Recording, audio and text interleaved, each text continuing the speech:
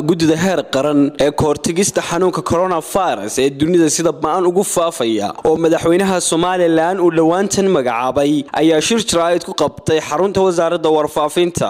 Guddidan uu guddoomiye u yahay wasiirka wasaaradda caafimaadka kana midka yihiin wasiirada wasaaradaha arrimaha gudaha diinta iyo ooqaafta waxbarashada ayaa halkaasi ka hadlay iyo wasiirka wasaaradda warfaafinta. Waxaanay soo jeediyeen qodobo muhiim u ah bulshada sidii ay uga hortegi lahaayeen xanuunka coronavirus amba covid wasiirada halkaasi ka hadlay waxaa ugu horreeyey wasiirka wasaaradda caafimaadka oo guddida heer qaran ee kahortegista xanuunka coronavirus isagu guddoomiye u ah waxaanu ka waramay qaabka ay doonayaan inay u wajahaan kahortegista xanuunkaasi. Waxa iyakuna halkaasi ka hadlay wasiirka wasaaradda arrimaha gudaha wasiirka wasaaradda waxbarashada iyo wasiirka wasaaradda warfaafinta somalilan iyo wasiirka diinta iyo awqaafta. Waxaanu guddiga ku soo darnay sidoo kalena koox la taliyayaal ah oo afar ah oo nagu talagalay inay farsamo ahaan ay noola taliyaan ama ha noqoto arrinta caafimaadka iyo iyo habka caafimaad ahaan loola looga qabanayo xanuunkan ama ha noqoto habkaynu caalamka ugala xidhiirayno arrimaha la xidhiidha deeqaha iyo iyo muxuu ahaa gacanta adduunka aynu aynu weydiisanayno ama ha noqoto fahamka aynu u leenahay inaynu maaleyno arrintan. Afar baanu magacawnay xubnood oo u bixinay guddiga farsamada innaga markay noqoto somalilan maanta hal kays oo aan odhan karo ka shakisan nahay ama xanuunkaasi uu hayaa oo aanu caddaynay ma jiro. Hay'adaha ilaahay wax badan buu ku tilmaamay in qofku uu isbambaaniyo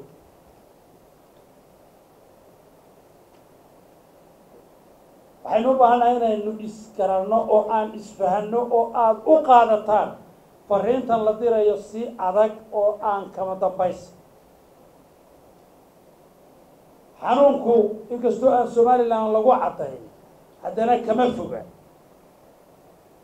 Soomaaliyuu fadhiyaa jabuuti baa caddaysay etoobiya caddaysay. Sida aynu isu dhex gallay iyo sida loo soconayana waad ogti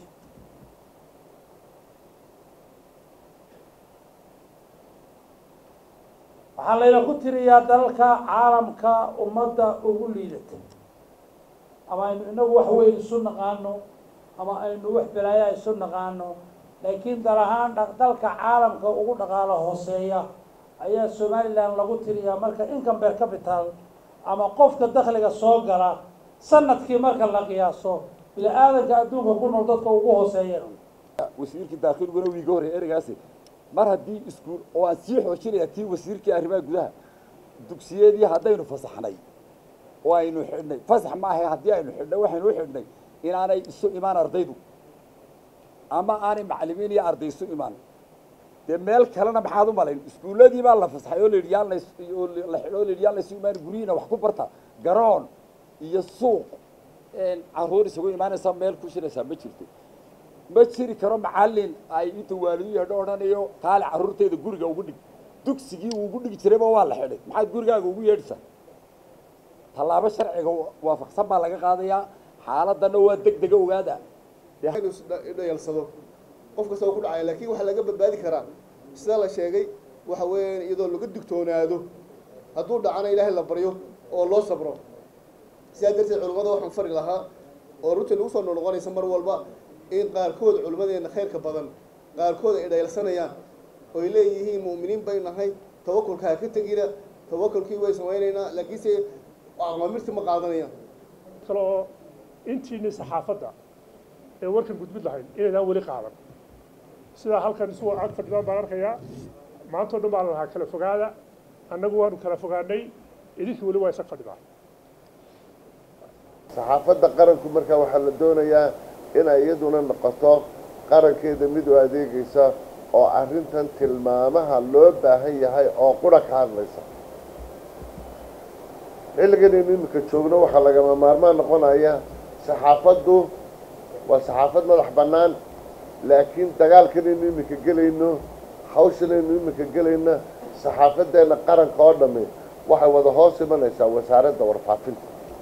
Halkaasaynu ka wada shaqaynaynaa marka waxaynu doonaynaa inaynu majaro qura dariiq qura message qura tilmaan qura talo qura inay naga baxdo. Sidaasaynu dalkeenu ku badbaadaya waxaa weeye xanuunkan waynu la soconaayo dad fara badan oo madaxaho adduunkaaba ku dhacay qaar way u dhinteen faqiir ma leh madax ma leh dibjir ma leh hantiilo ma leh waa xanuun loo wada siman yahay taa intaasaan o lahayn brogaraamkii guud waa ka sheegay wasiirka oo guddoomiyaha iyagana ah arrimahaynu talada ka bixinay ee go'aanada ka gaadhay waxaa ka mid ah inay mamnuuc tahay in meel bulshadu isugu soo ururto aan la isugu ururin. Xanuunkani wuxuu fadhiistay nadaafad qofka kowna nadaafad lahow behaviorka ama habdhaqankaaguna ha ahaado meelaan bulshadu ku badnayn inaad joogto. Dadkeennu ilaa iyo iminka waxaa sii socda oo iminka mamnuuca oo ciidamada amniga saaka halkan ay u yimaadeen inaynu ogaano waynu fariintaa dadweynaheena u gaadhsiinayno inay mamnuuc tahay in la ysugu yimaado meelihii mafrashada qaadka waanay ka wanaagsan tahay rag waaweyn oo madax inta ciidan u tago iyagoo qaadkii wata in lagu stationka biliska la keeno. Haddiise ay dantu kalifto dadka badbaadadiisaa ka mudan in qof la ixtiraamo. Cabdiraxmaan jumbo star t v hargeysa